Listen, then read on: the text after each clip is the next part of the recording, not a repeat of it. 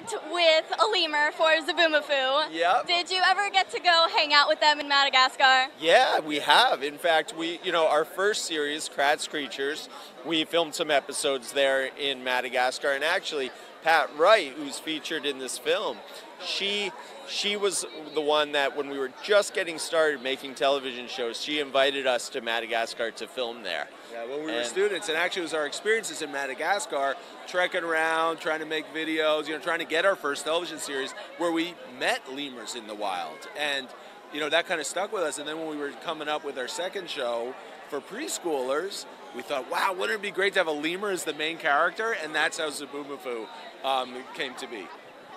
Of all the animals that you have worked with, which one would be your favorite? Oh, that's really tough. I lemurs that's are up there for sure. though. Lemurs are Lemurs, maybe there. lemurs are the number one. Uh, but then there's giant otters and there's African wild Black dogs. jaguars. Yeah, you know, there's so many animals. Of the ones you worked with, what animal would you say is the most challenging?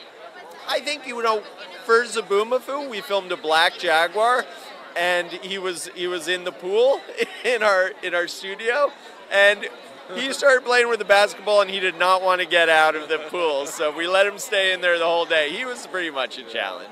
And some animals are really hard to find in the wild, like, and that's why we're doing our new show, Wild Kratts, as an animated show, because you can't film sperm whales deep, deep, battling colossal squid. We know it happens every day, but in animation you can show that stuff. So that's kind of one of the solution for the animals that are really hard to find is animate them.